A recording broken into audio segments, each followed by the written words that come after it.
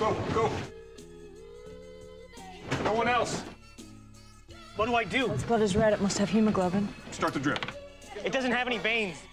It's going into cardiac arrest. Get in there now. Defib Go, now. go. Clear! Heart rate is stabilizing. Can you explain any of this? I've been sent here to determine who or what you represent. I represent a group of civilizations. What were you before you were human? It would only frighten you. Why have you come to our planet? Your planet? Yes, this is our planet. No, it is not. The big subject. An alien comes down to Earth. That's who I play, Klaatu.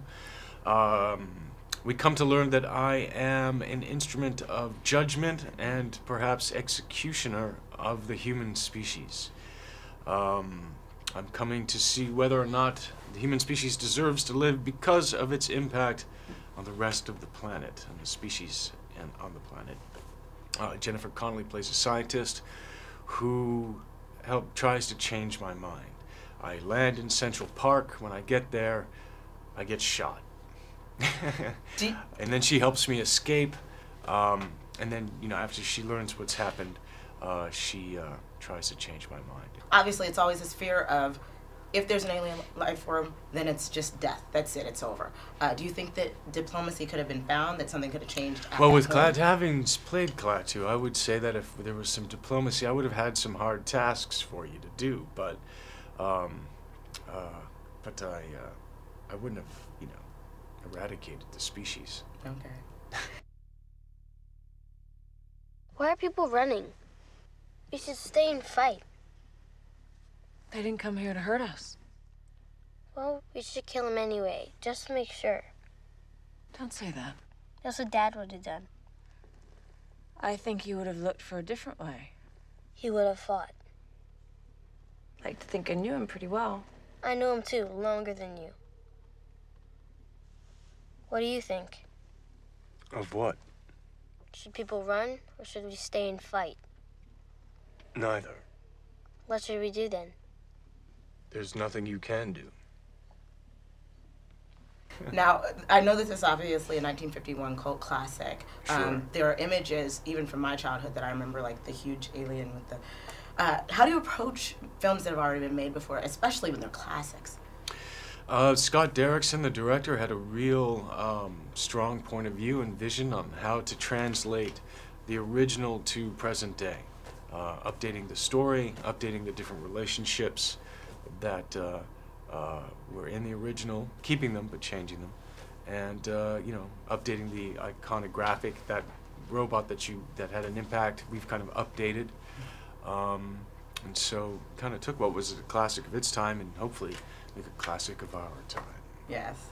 Now, um, working with uh, Jennifer Connelly and Jaden Jaden especially, um, he had some amazing scenes. Yeah. I think that he's an amazing actor. Can you talk a little bit about working with both of them? Sure. Uh, you know, I was a fan of uh, Jennifer Connelly's. Am a fan, and uh, you know, for me to get the chance to work with her was something special. And then to work with her, she's so much. You know, she's so great. She's you know so professional. You know, she brings such heart and soul to her performance in this film. It's really you know she carries this film. Um, you know, she has a relationship with Jaden Smith. She's his stepmother, and. Um, uh, you know, Jaden had some tough stuff to do. He's lost his father. She's lost her husband. They have to live together. You know, he lost his mother when he was young. So they had, and they're at odds in a way. They're kind of sharing grief, but they don't know how to connect. So that's the other kind of human element of the story. And, uh, you know, he had tough scenes, you know, and, uh, you know, he did them well. You know, he had to be very vulnerable, had to open, he had to cry, he had to be funny. So he had a lot of tasks as an actor, and he, he met all of those challenges.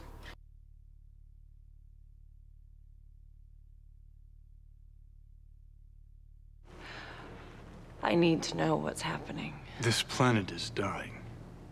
The human race is killing it. So you've come here to help us. No, I didn't. You said you came to save us. I said I came to save the Earth. We can't risk the survival of this planet for the sake of one species. What are you saying? If the Earth dies, you die. If you die, the Earth survives.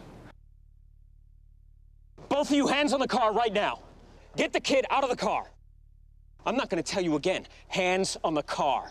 Please don't hurt him. I'm not gonna hurt him. wasn't talking to you. Can you talk to me a little bit about your approach to Klaatu? There were there was especially when we first meet him, sort of reminiscent of Neo a little bit, and him being uncomfortable in his body, that type of thing. How you how did you you remember like okay when Neo uh, first woke up um, after being unplugged, he was very uncomfortable in himself, and it reminded Yeah, me. Yeah, but he was very human in that sense. he was human. You're right. you know, Klaatu is a little more kind of, uh, and and uh, you know, um, you know, when Thomas Anderson Neo wakes up, he's a little. I'm talking about another film, but uh, he was uh, very uncomfortable and very kind of expressive. Um, you know, for me, it was just that this consciousness, a separate consciousness from the body, was kind of, you know, he's a little more composed and a little more, you know, he's not having such a high emotional reaction. And finally, are we alone in the universe? Absolutely not. Well enough said.